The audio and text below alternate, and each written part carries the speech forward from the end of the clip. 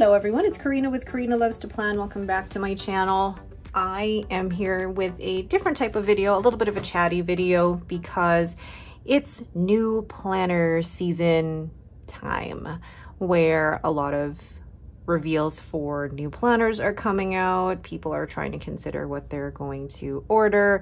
It's Hobonichi reveal season, so there is a lot coming out right now and it's making a lot of people, including myself, try to think about what I want for 2025.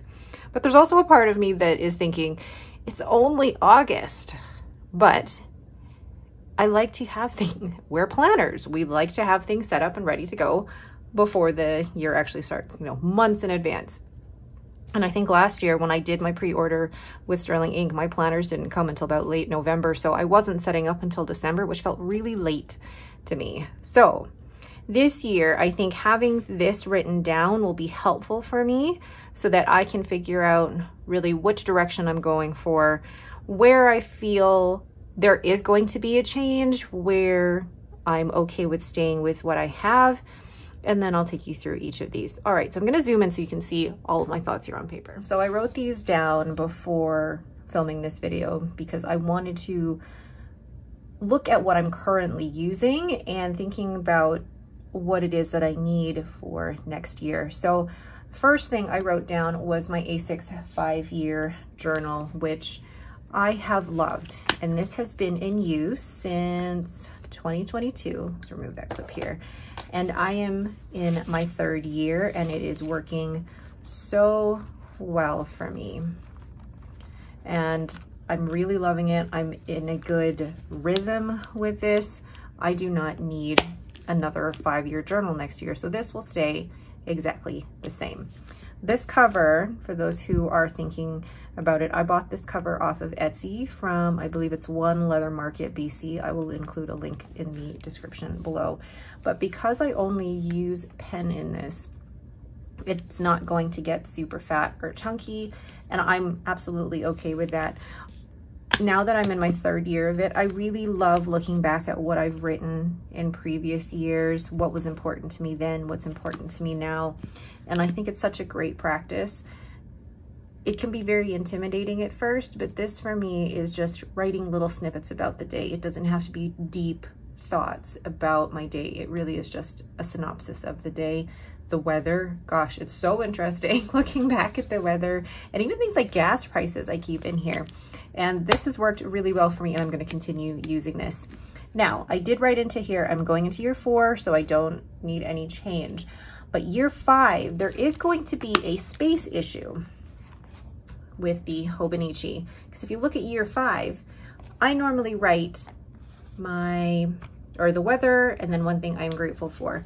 But in year five, there really isn't the space to do that. I'm not thinking about it right now. It's a future Karyna problem, but I'm sure this time next year, I'll be wondering, what am I gonna do?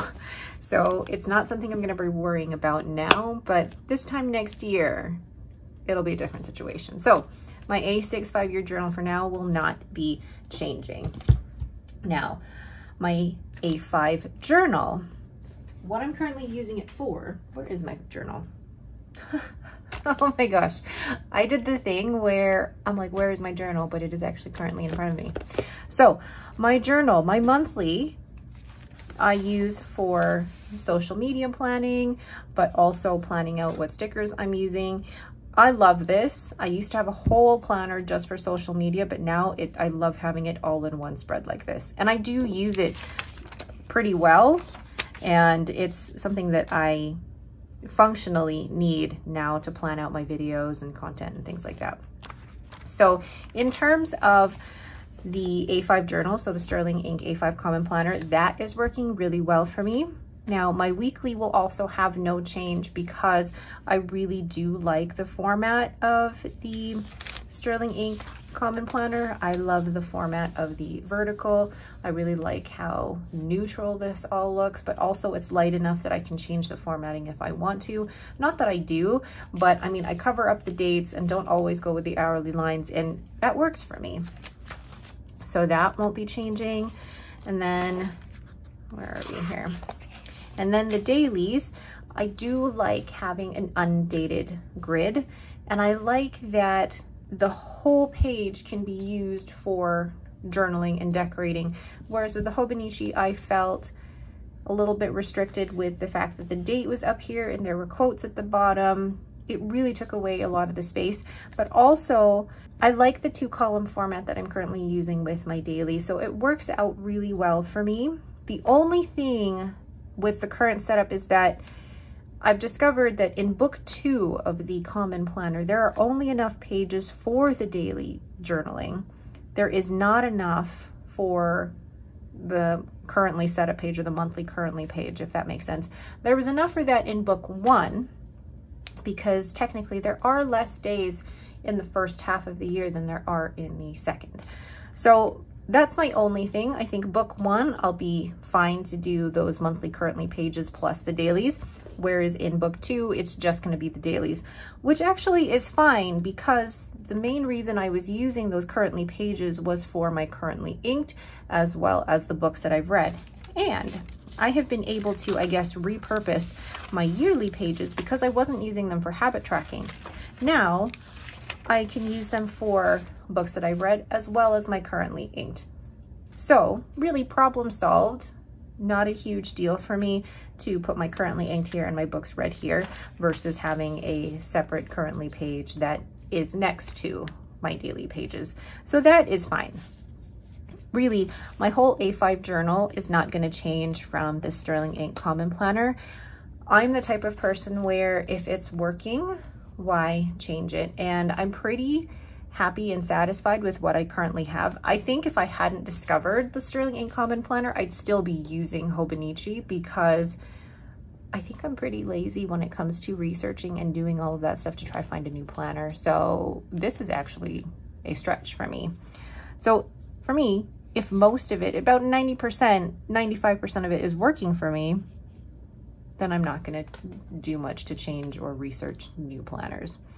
The next thing, however, move this out of the way, is my passport planner. So my passport planner is currently in my wallet, which is upstairs. But basically, I use this as my on-the-go planner. I love it. It's cute and tiny, and I basically only use it when I'm out and about writing appointments and things like that. So it's not a planner that I use daily. I hardly ever decorate it. So there's no pressure for me to make it pretty, make it aesthetically pleasing for YouTube or Instagram. It really is a functional planner and I love it for that. But I've discovered that I only need the monthly and the weekly and I feel bad for wasting so many pages in the passport planner that come in the back.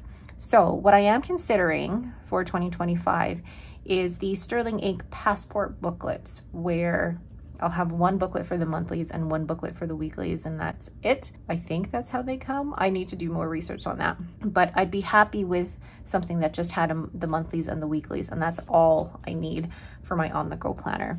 And there's also the Aura Estelle passport booklets. They come in a pack of four.